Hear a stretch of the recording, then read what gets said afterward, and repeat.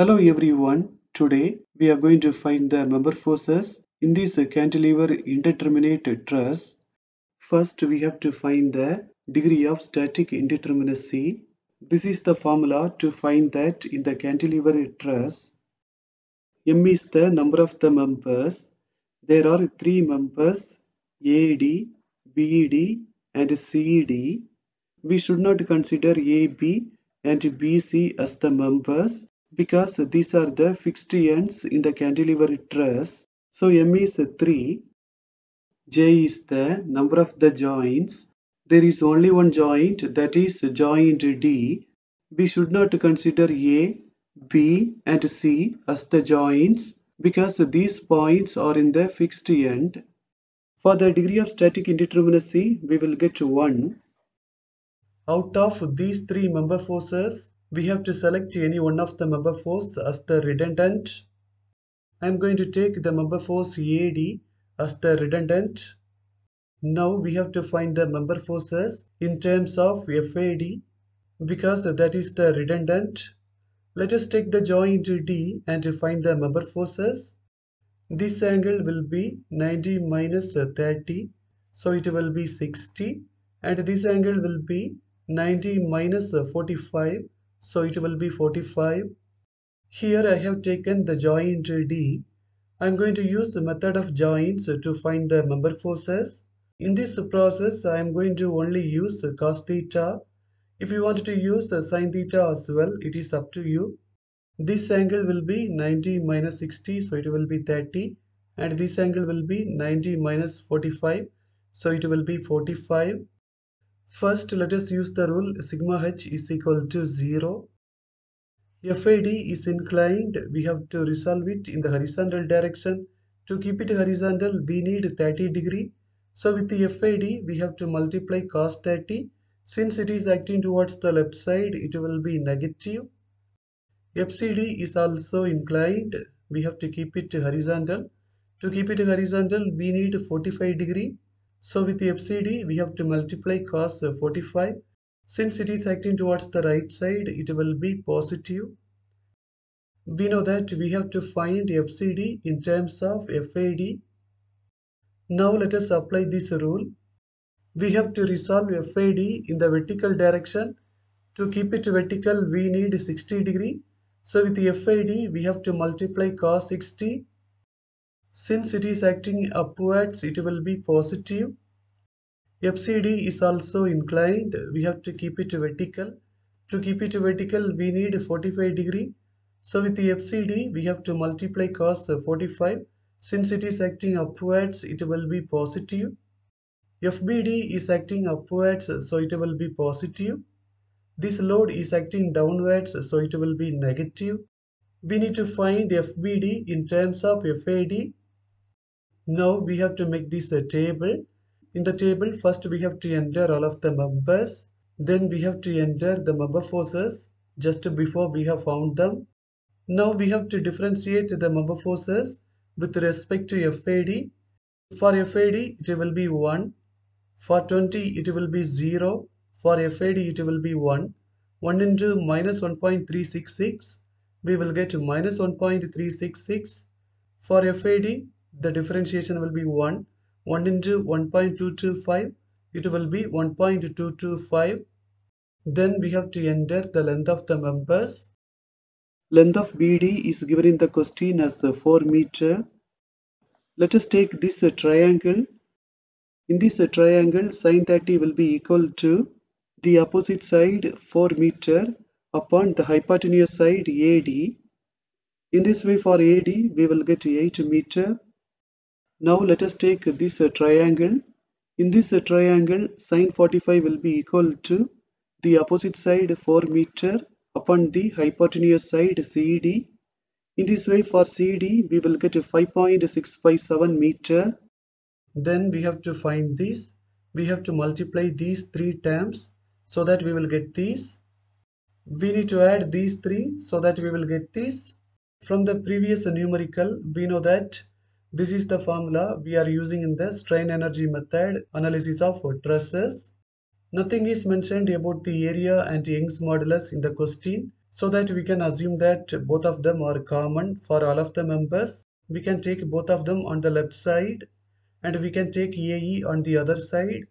0 into AE, it will be 0. This one we have found, we can apply that. For FAD, we will get 4.56 kilonewton. In these three, we can apply the value of FAD so that we will get the member forces in BD and CD.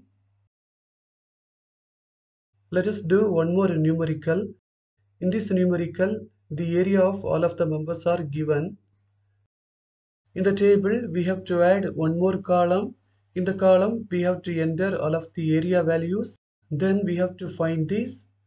Then we have to add these three so that we will get this. Young's modulus is not given in the question. We can assume that it is common for all of the members. We can take 1 upon E outside and we can take E on the other side. 0 into E it will be 0 this one we have found. Let us apply that. Finally for FAD we will get a 6.49 kilonewton. We have got a positive value. That means it is tensile we can apply the value of FAD so that we will get the member forces in BD and CD all three of them are positive that means all three of them are tensile in nature now let us see one more numerical. In this one there is additionally one member ED. We have to find the length of ED. Let us take this triangle. In this triangle let us use a sine theta formula. Sine 50 will be equal to the opposite side 4 meter upon the hypotenuse side ED. In this way for the length of ED we will get 5.222 meter let us find the degree of static indeterminacy. We know that m is the number of the members. Now there are 4 members. So 4 minus 2 into 1, we will get 2. Out of the 4 members, we have to keep any 2 of them as the redundant forces. I am going to keep AD and ED as the redundant forces. Let us take the joint D and to find the member forces we need to find the member forces in terms of FAD and FED. This angle will be 90 minus 30, so it will be 60.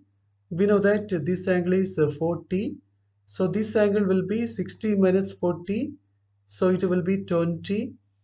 First, let us apply this rule. When we compare this one with the previous numerical, everything is the same except that we have one additional member FED. These two we know how it comes. We have to resolve FED in the horizontal direction. To keep it horizontal we need this angle. This angle will be 30 plus 20 so it will be 50. So we have to multiply FED with the cos 50. Since it is acting towards the left side it will be negative. Then we have to find FCD in terms of FAD and FED. Let us apply this rule. We know how these four come. Now additionally we have FED. We have to keep FED in the vertical direction. To keep it vertical we need this angle. So with the FED we have to multiply cos 40. Since it is acting upwards it will be positive. For FCD we have to apply this and then multiply this with the cos 45. We need to find FBD in terms of FAD and FED. Now we have to make this a table. In the table, we need to enter the forces. Then we have to partially differentiate the forces with respect to FAD. For FAD, it will be 1. In these two terms, there is no FAD, so the differentiation will be 0. For FAD, the differentiation will be 1. 1 into minus 1.366, we will get this. This term will be 0. For FAD, it will be 1. 1 into 1.225, it will be 1.225. In this term, there is no FAD, so it will be 0. Then we have to differentiate the forces with respect to FED. Here there is no FED, so the differentiation will be 0. These two terms, the differentiation will be 0. For FED, it will be 1. 1 into minus 1.409, we will get this. For this term, the differentiation will be 0. For FED, it will be 1. 1 into 0 0.909, it will be 0 0.909. For FED, the differentiation will be 1. Then we have to enter all of the lengths. We need to find these and then we have to find these. Using these two equations, we can make these two equations. Now we have two equations. Using a calculator, we can solve them. After solving, we will get FAD and FED. For both of them, we have got positive values. That means both of them are tensile. In these, we can apply the values of FAD and FED so that we can find all of the member forces. Now we are going to end this session. Thank you for watching this video.